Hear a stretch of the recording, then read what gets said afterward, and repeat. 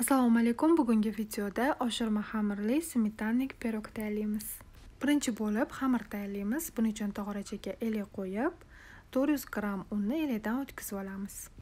Unni oxirgi qismini o'tkazayotganimizda unni ustiga bir osh qoshiqda dro'ji bir choy qoshiq razrahritel bir choy qoshiq to'ldirmasdan tuz solib elakdan birga o'tkazamiz.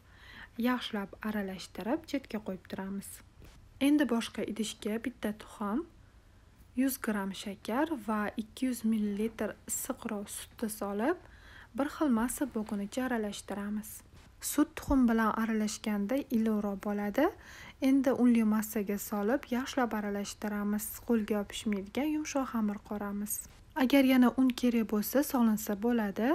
Endi ustidagilariga yog' surib salafanlar bilan o'rab issiq joyga taxminan 30-40 minutga oshirgani qo'yamiz.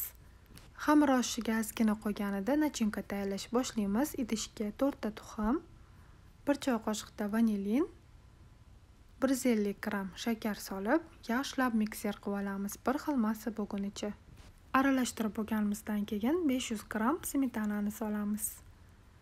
Va yana bir marta yaxshilab aralashtiriladi. Shu bilan nachinka tayyor. Endi xamirni tayyorlagunimizcha ustini yopib xolodilnikka qo'yib turamiz.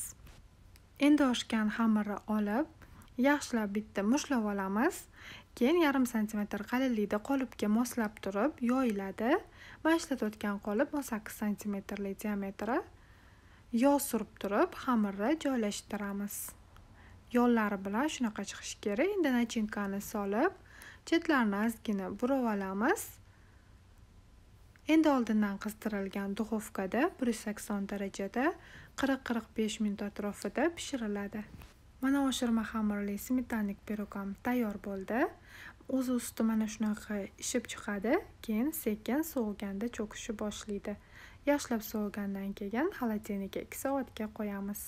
2 soat o'tgandan keyin olib ustini xohishga ko'ra bezatib dasturxonga tortsak ham bo'ladi. Hammaga yoqimli ishtaha. Yana keyingi videolargacha salomat bo'linglar.